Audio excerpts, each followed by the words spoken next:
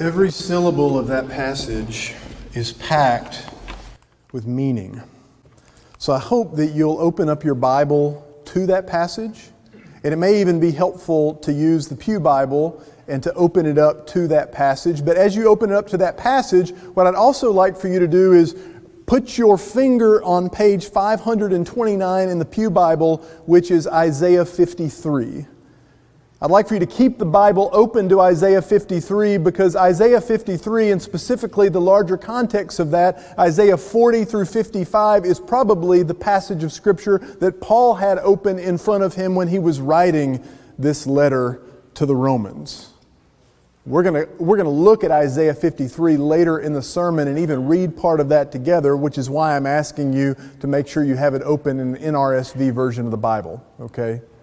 We're going to look at that, we're going to read through it, we're going to feel it as we attempt to understand the gospel of Jesus Christ more deeply. This is the beginning of that. The series is called The House of Atonement. Atonement is a big theological word that means a lot of things. Today, if you look at the meditation in your worship guide, we might just say it means at one What has been separated has been brought together.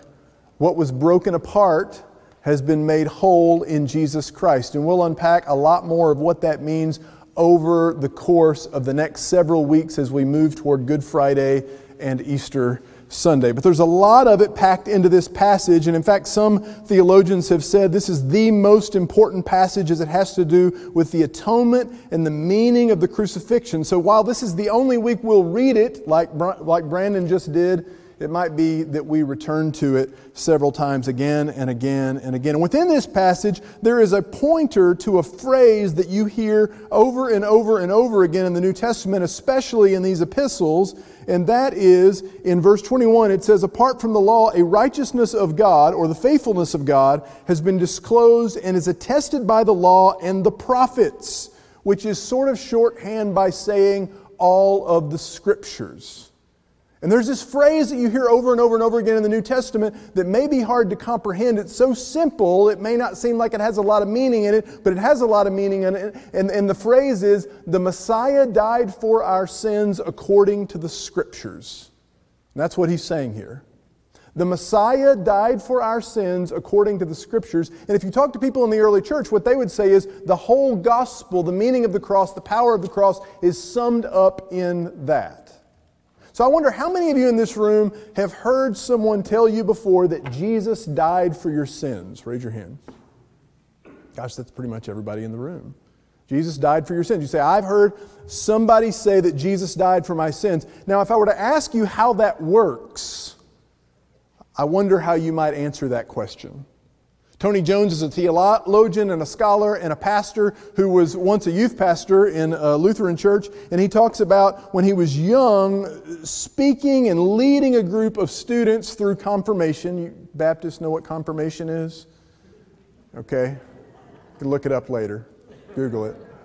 Leading a group through confirmation and um, have the parents in the room with the students and ask them a question. It says, How many of you have ever heard someone say that Jesus died for your sins? Just like you, all the hands in the room went up. And he said, Okay. Now, how does that work? They looked at him. He said, Here's what I'm going to ask you to do. And I might ask you to try to begin doing this as well. There's a little note sheet in your worship guide that you can open up.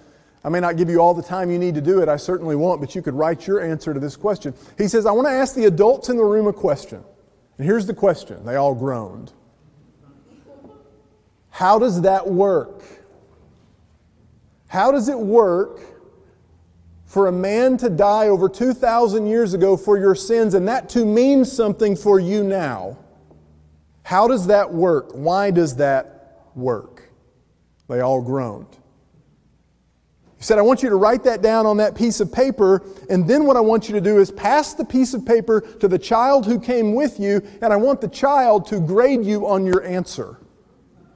To which they all groaned again. Later, and you may be writing this down now, you might want to share it with some of the people with you.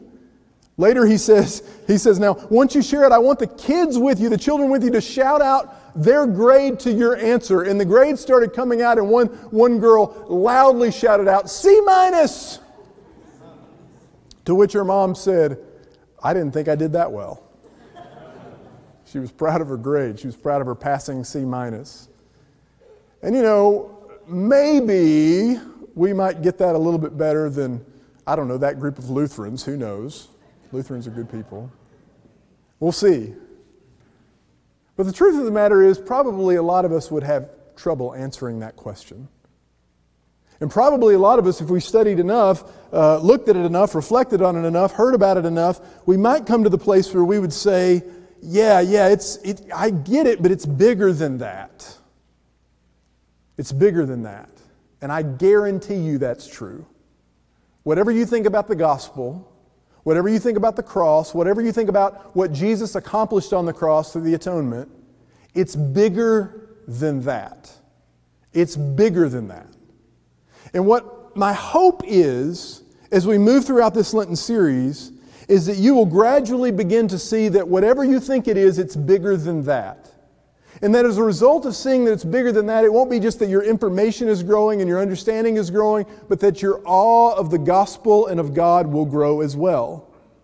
And you will find yourself moved and falling more and more in love with Jesus and more grateful for what he has done for you and continues to do with you because of your larger, broadening understanding of the gospel of Jesus Christ. The metaphor, and we've got it built here, Ed Gilliland built Andrea and Marcy, Marcy Hendrick and Andrea Huffman's vision here. Ed Gilliland built this wonderful little house of atonement. That's the, the title of our series, The House of Atonement. And you see that within the house there are all these windows. In fact, the house is so much made of windows that if we didn't have these colorful pieces of paper on there, you would be able to see completely inside the house. That's not how a lot of our houses work, but that's how this house works. So I said, please cover the windows uh, because, because we got to have the metaphor working as well.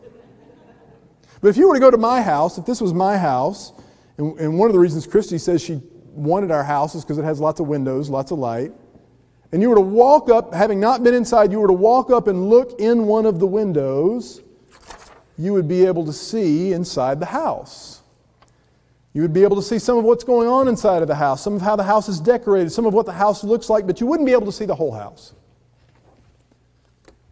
If you were to go around to other windows in the house, maybe step over here to the kitchen, take a ladder up to the, the kids' bedrooms, and look through each and every window, you would see more of the house. And if you look through all the windows of the house and you were able to remember what you saw through each and every window, you would, you would begin to see a picture come into play that would give you an idea of what the inside of the house looks like. But even if you were to look through every single window, you wouldn't see the whole house. And even the house you saw, you wouldn't be in it, you wouldn't be experiencing it. There would still be much of the house left to be seen and left to be experienced. And the gospel of Jesus Christ is a lot like that. The atonement, the at-one-ment, is a lot like that as well. So, what I want to do is, each and every week of this series, I want to look at another window or two, into another window or two into the house of atonement, with hopes that we might come away saying the gospel is bigger than that. It's bigger than what I thought. Now, as we look through each window, we'll see that some windows are, don't worry Ed, I won't break it, cracked. That we see through some of these glasses darkly, as Paul said in 1 Corinthians. That some of the, the vision within the window is skewed by the window. It's not exactly right. And yet there's always more to be seen and heard, apparently. One of the most prominent windows that you'll see as we look through the uh, House of Atonement is called the substitutionary window. And I want to put that for you, in front of you today because I think it's a very important window to look through to understand what's going on on the cross of Jesus Christ. But I also think that um, even as much as you understand substitutionary atonement, there's much more going on here. And, and what, what in fact is going on is that what you'll see is that not only is substitutionary atonement a window, but it's kind of a category of windows. And just about every understanding of the atonement can actually be categorized under either a victory category or a substitutionary category. Victory over the powers and principalities, and we're going to talk a lot more about that. That's not something we talk a lot about as Baptists. And then also this thing that happens relating to the forgiveness of sins through this view of substitution. Even still, though, the window we look through today may be a little cracked and distorted. One of the most popular views of the atonement right now that falls under the category of substitution, many theologians and scholars would say is a cracked view. There's some truth in it, and yet, and yet there is also some obvious untruth. There are some things that don't quite pass the smell test. It, it's, it's rooted in a view that Anselm of Canterbury began to tease out about a thousand years ago called the satisfaction theory. And the satisfaction theory of the atonement, and you'll see some of this seemingly emanating out of Romans, is this idea that God is holy and we are not, and because of our sinfulness, the wrath of God burns against us. And in order for us to be atoned, to enter back into relationship with God, that wrath has to be satisfied some way, somehow, by someone.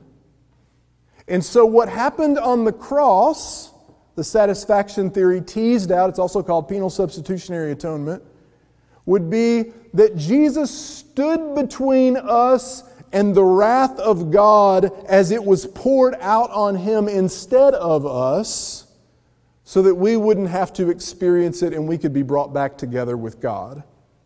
Now, this view of the atonement, while wildly popular actually right now, whether it is for you, um, has been met with a lot of criticism. Some folks from abusive families would say, that reminds me of my abusive parent. This idea that, that the child Jesus is there and God is sort of angrily abusing this child, that somehow God needs to pour out this raging wrath in, other, in order to be appeased. And once that wrath is appeased, it's squelched, and we don't have to deal with it anymore because Jesus dealt with it. Yeah, that's that's kind of problematic when you consider that the God revealed in Jesus, especially on the cross, is a God who is love. Didn't seem to match up. Now, some of this is helped when we consider that we shouldn't divide the Trinity, and that what's happening on the cross isn't just a son appeasing an angry father, but it's something that happens in the life of a loving God. But still, it doesn't quite pass the smell test. There's something about this that just doesn't seem quite right. Something about it that doesn't seem quite right, and something about it that does. Because there's something about substitution that moves us, that seems right, that seems powerful. And even when we don't get it up here, we get it in here. And so we find even that element of substitution, that gospel element of substitution, appearing in the stories of our culture that we resonate most with, right? Some of you have read or watched The Hunger Games.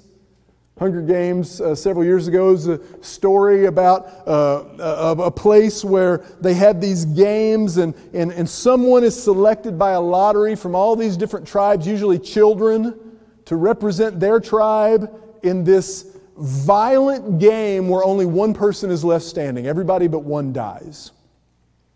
You don't have a choice whether or not you want to participate in this.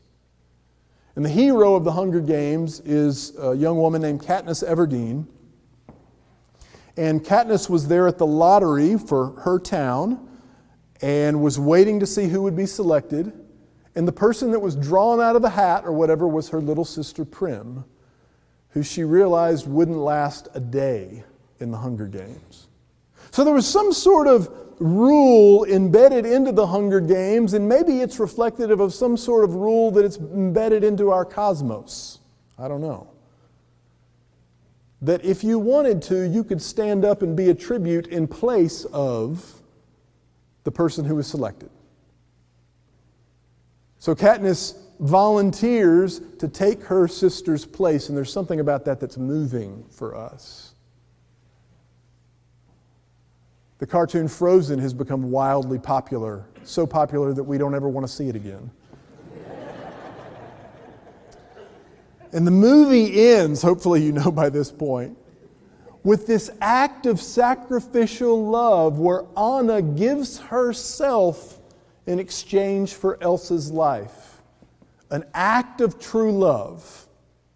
And there's something moving about that. In the hit TV show This Is Us, there is a moment where the hero father, Jack, gives his life for the family dog, which is a little, you know, difficult for me, but his daughter asked him to. And so that's what happened. And something about that taps into something in us where we would say there are parts of that that just don't seem true when we go to Anselm's theory of satisfaction, this angry, wrathful, vengeful God that needs to be appeased. You know, there was a, a Canaanite God called Molech in the Old Testament, and Molech needed child sacrifice to be appeased. The witness, even of the Old Testament, is that Yahweh is not Molech, and even more so in the New Testament. And yet, there is this sense when we read the gospel that Jesus is doing something for us that we can't do for ourselves. And if we're only trust in it, it will have a transformational impact on reality and on us. Substitutionary atonement. And actually, this idea of substitution, or a better word might be representation, is embedded not only in the New Testament, but really throughout the scriptures from the very first pages. If you were here on Wednesday night, we talked a little bit about the creation story and what it meant for human beings to be created in the image of God. And of course, at this church, we've talked before about how God is relational Father, Son, and Holy Spirit. So, part of the image of God is the fact that we are also relational social beings. We get that. You've heard me talk about that maybe too many times. But there's more to the image of God. Something about the sacredness of the person. You know, when you look at the creation story, after each and every single day of creation, God said, and it was good, and it was good, and it was good. And we get to the sixth day with the creation of human beings, and God says, very good. There's something about the image of God that makes human life, all human life, sacred. And so we see that in the image of God. There is a job or jobs that human beings have been endowed with stewardship of creation, taking care of God's creation. That has something to do with the image of God. And then there is also this reflection. Human beings reflect the glory of God. That's embedded in the story. So that human beings are supposed to be see if this sounds familiar salt and light in the world. Bring, be, bringing seasoning and illumination to all of creation. The seasoning of God's character and the illumination of God's presence. It's embedded in what it means to be human. The human beings were supposed to represent and reflect the glory of God, and we know how that story went. Later, God is choosing to try to bring creation along in the way that God envisions it and creates a people through Abraham called Israel. And if you look at Israel's story, what you'll see is that these people were supposed to be not only a representative for all of humanity, used to transform all of humanity into who God created it to be, but to be the light of the world. Again, does that sound familiar? And yet, they fell short of that the glory of God. That may sound familiar too. And so something needed to be done that we could not do for ourselves. Who would do that thing? Who would do that thing out of, out of God's great love? Well, the gospel story tells us it was God and God's very self that did that thing.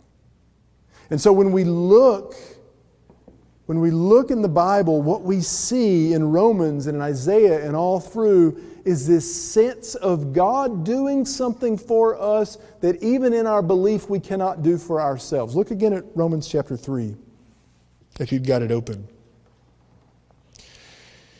I wish we had time to go through every single syllable because there's more here than meets the eye. When you hear righteousness, I want you to also hear justice, and that will help with your understanding of wrath later, or covenant faithfulness.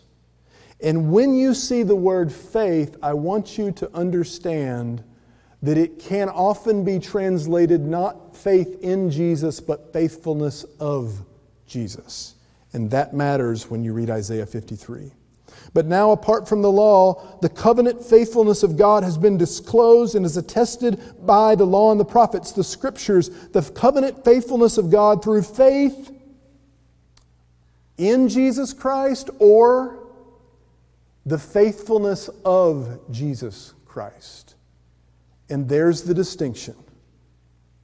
The gospel comes to us not by our faith in Jesus the action that happens in us and in the world happens not by our faith in Jesus, but happens by the faithfulness of Jesus apart from anything we can do otherwise. That's grace and that's mercy.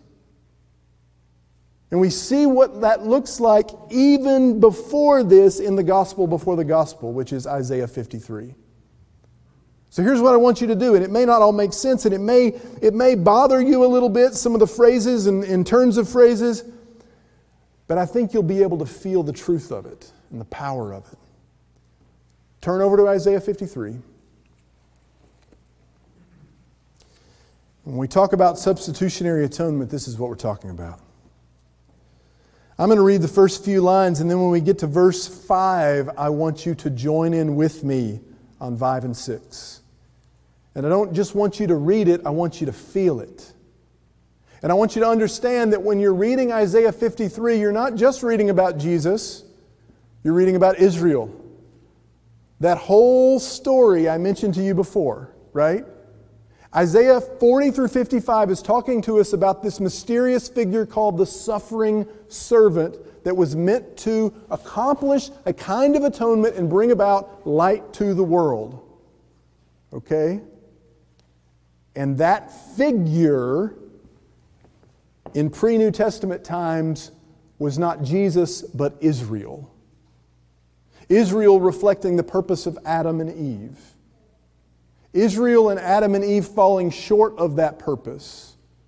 That purpose that now needed to be accomplished through someone else. Most of these promises and prophecies have at least a double meaning. So hear these words and then read these words with me.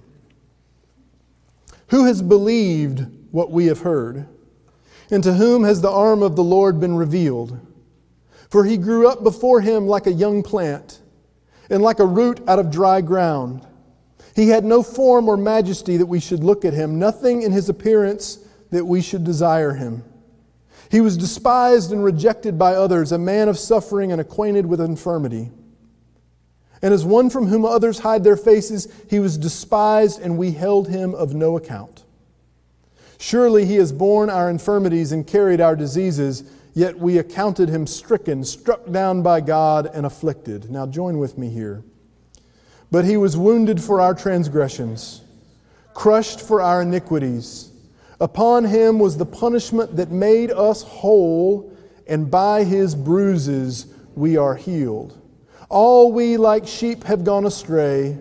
We have all turned to our own way, and the Lord has laid upon him the iniquity of us all. Why? So that we might become the salt of the earth and the light of the world.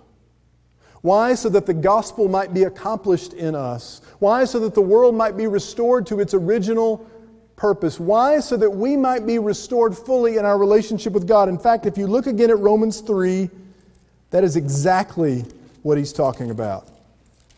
I won't read any more phrases except for this one. For there is no distinction, since all have sinned and fallen short of the glory of God. By the way, when you hear glory of God in the New Testament, you should be thinking about the Ark of the Covenant in the Old Testament. and the emanating glory of God out of it as they followed it throughout the wilderness. For all have sinned and fallen short of the glory of God. Most people can't enter that holy space with the ark without dying, or later when the ark was in the temple, most people can't enter the Holy of Holies on a normal day, even the priests, because the presence of God will kill them. Why? Because all have sinned and fallen short of the glory of God, and yet they are now justified by His grace as a gift through the redemption that is in Christ Jesus, whom God put forward as a sacrifice or place of atonement. The Greek word there for place of atonement is hilasterion, which means, and we sang it earlier, mercy seat. The mercy seat is the lid on the Ark of the Covenant. And what would happen on the Day of Atonement is that priests would come in and they would sprinkle the blood of bulls and goats on the lid of the Ark of the Atonement, eh, of the Ark of the Covenant, and that place would become a place where those who had sinned and fallen short of the glory of God were now able to enter into the Holy of Holies and commune with God in that place fully and finally. And yet those moments would pass, except that now, through the work of Jesus on the cross and really throughout his entire incarnation, an abiding and eternal mercy seat has been created by the blood of Christ, where we now, through faith and trusting in it, have been invited to enter God's space at any moment in time, in every place in the world, and commune eternally with God, experiencing then the life of the ages eternal life. Not just here and now, or not just there and then, but here and now. In fact, that's something that we really need to get. Because if we don't understand the goal of atonement, we won't understand how it works. And most of us have been taught that the goal of atonement, many of us have been taught that the goal of atonement is to get us into heaven. And what I want to tell you as we examine the New Testament is that is clearly not the goal of atonement. The gospel is not less than that. That is a part of the gospel, so I don't want to get you worried. Don't leave the church. But the gospel is a whole lot more than that. In fact, it would be more accurate to say that the ultimate goal of the gospel is not to get us into heaven, but to get heaven into us. And if we trust in Jesus and the power of his work on the cross, that begins to happen in a way that brings us into union with God. We'll talk more about that next week. So, the invitation for you by the blood of Christ and through the power of the cross is whoever, whoever you are, whatever you've done or left undone to trust in what Christ has done for you. Open your arms, your being, your heart. Receive God's grace and receive God's presence so that you can be the salt of the earth and the light of the world. And so that each and every day that you live, you can experience more and more and more of union with God through Christ. By the way, that's just one angle on the atonement. We'll get to more in the weeks ahead. Would you pray with me? Holy God, you have done everything so that we can know you and experience your love. There is nothing more we can add to what you have done, even though we don't completely understand what you have done. Even my explanations, especially my explanation, explanation, my explanations of this will fall short. We don't have to understand it for it to work. And that's so important. But we know what you've told us. The Messiah died for our sins according to the Scriptures so that we might experience union with God. God, help us to hear and heed that invitation, even now as we continue to worship. Amen.